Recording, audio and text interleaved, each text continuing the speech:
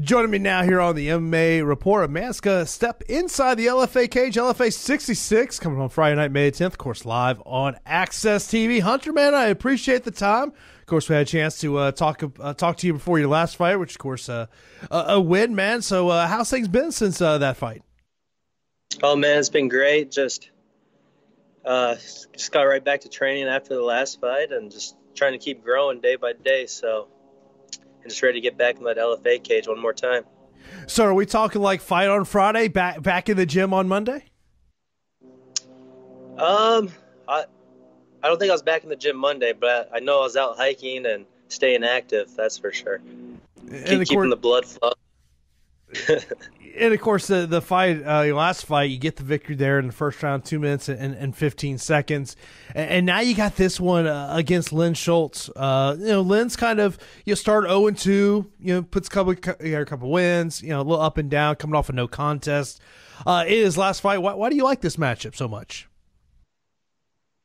Um, I, it's just another fight for me, really. Like I wasn't too concerned of who they were going to put against me. I was just like, let's just get back in that cage and just keep, keep that cage time coming. Like it's just like wrestling season. I was like, mat time, mat time, mat time. Now I want cage time. So it's just whoever they throw at me, I'm gonna work work all areas and just keep growing. How would you say you've grown since February to now? Uh, well, my jujitsu is getting a lot better. I spent more time in in the gi, and just just my getting more comfortable with my stand up, and just letting my hands go a little more, and just getting the right getting the right looks from the right teammates and stuff. So, in terms of letting your hands go, is that just something where you is it something you feel like it's not translating from the gym to fight night?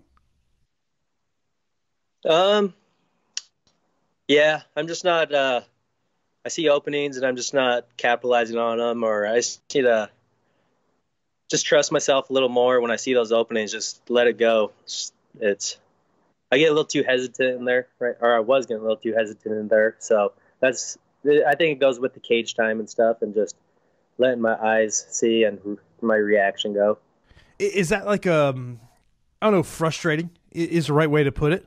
But in terms of like, as you sit back and you look at your your previous fights, is that like something that when you go back and you're just kind of assessing your own performance, you're sitting there? Is that like the thing that bugs you? I mean, it bugs me. I mean, I guess I don't let it bug me too much, but it's when I go back and watch my fights or watch my train or my sparring videos and stuff. I'm like, I see openings, and it's just, it's just me being hesitant. So, it's, but in the fight, it's I, I can't complain because I'm not I'm not getting any damage to me. So it's I'll take that, but I got to start getting in and out more, and yeah. And I'm guessing that's probably something the coaches there at the lab have really kind of, uh, you know, been, been harping on you about.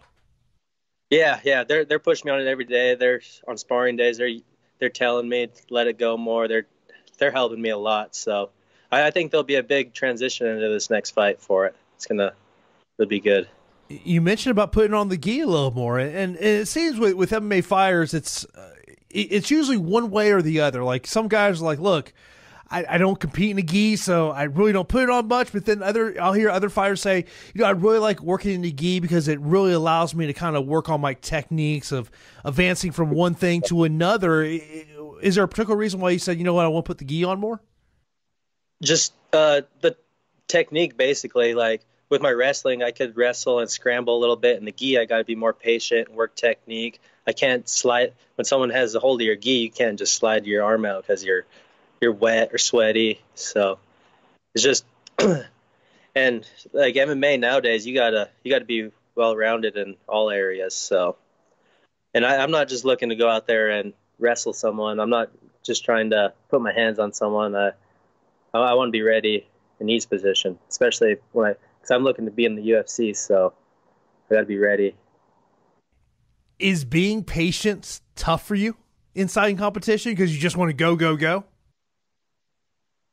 Um, it was it was tough at first, but I feel I feel each fight and each training day I'm getting a little more patient and my my coaches are on me. I have close training partners that are helping me, just keeping me relaxed and my composure. Like I, I try to scramble too much and use wrestling and yeah. You you mentioned about you know the path is is to get to the UFC. You know uh, how close do you think you are to that path? Um, I I, believe I'm pretty close, and I'm not I'm not rushing it either. So I I feel like I could be a couple fights away. Two two good two three good wins right now. I feel I should be knocking on that door. So. What do you believe your key to victory is here against Len?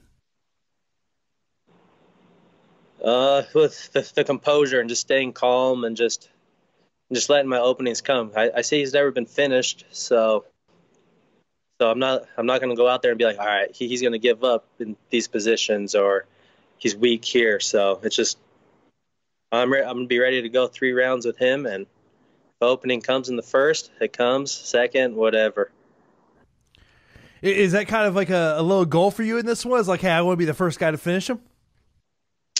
Oh yeah, it, it is. In every fight, I'm like, that, that's my goal. I mean, I want to go out there and put on a finish and a good performance. So it's definitely it's definitely in the back of my head, and if that opening comes, I'm not gonna shy away from it. And, and of course, uh, you know this obviously would, would push you, uh, you know, to another win on your record, remain undefeated. Have you started to, to map out what you want next after this fight?